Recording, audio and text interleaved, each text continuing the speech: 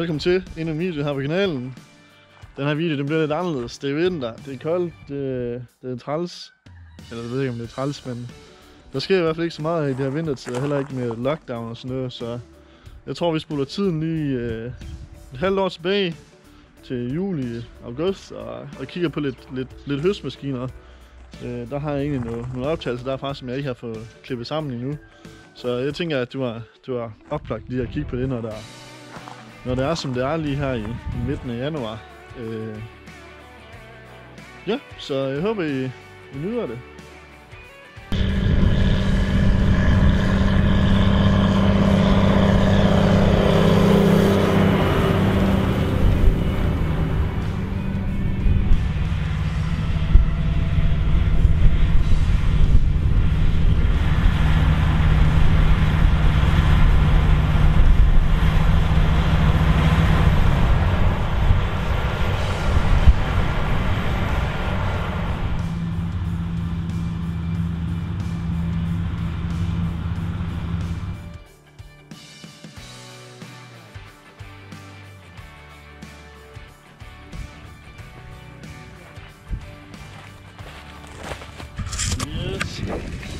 Så er vi egentlig... Øh...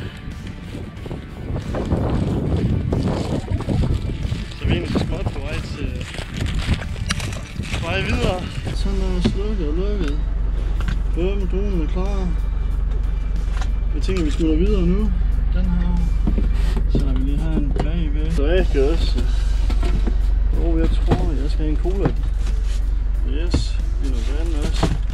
Hvad hedder det? Ja, I kan se, det er arter. Det er lige til at køle ned med.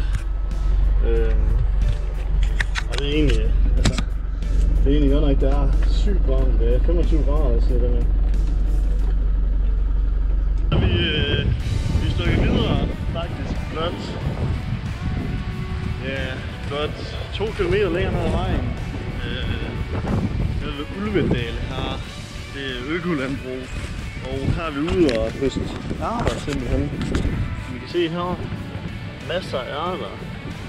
Og ærterne her, de er, de er blevet skovlagt, og så høstes det egentlig med, med en pickup på den, øh, den action flow, de har her på, på farmen. Det ser ud til at fungere meget fint. Det gør det. De, de vil lige tage, de er lige ved at åbne op her, og lige tage det yderste. Øh, og så tror jeg ellers, de kommer til at køre, som skal. Men de kan se de her ærter her for eksempel, de er, de er skidt, de er godt tørre i hvert fald. Det skal det selvfølgelig også være, så kommer vi ned her, så vi prøver lige at, at tage den.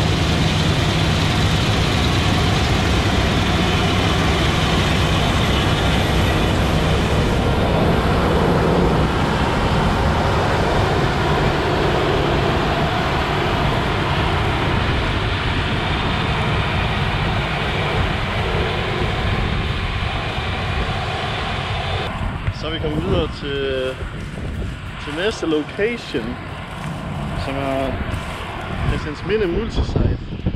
Jeg vil sige, det store, øh, få til din nu. Han det stuer meget. Det er fuldstændig vanvittigt.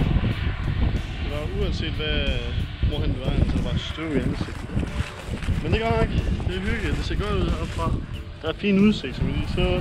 Og her kørte de også med en, en 87'er øh, med Timbertrack på.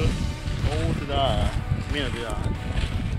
det er 1230 Vario skær på, øh, som er 21. Øhm, og det fungerer meget godt. Jeg mener, de har kørt med den et par sæsoner. Før den, der havde de vist 77, også med Timbertrack. Det er nogle år siden, jeg tror det var i 16 ude af øhm, så, så det er egentlig hyggeligt nok,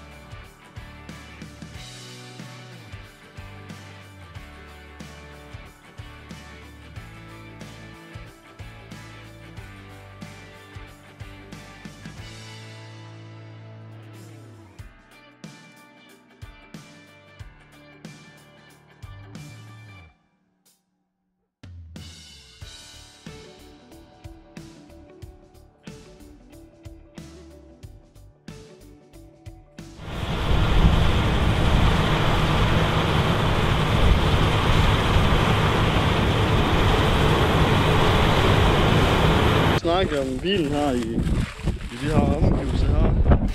Man kan sige, øh, der er nogen, der spørger ind til, hvad det er for en bil, jeg kører i, og hvad det er for en gammel lue. Men det er en øh, gammel Land Rover Defender fra 1991. Så den bliver snart 30 år gammel. Jeg tror, det er, hvad jeg har rigtig for. Men den er helt gammel i hvert fald. Øh, den kører egentlig bare. Nå, kom på.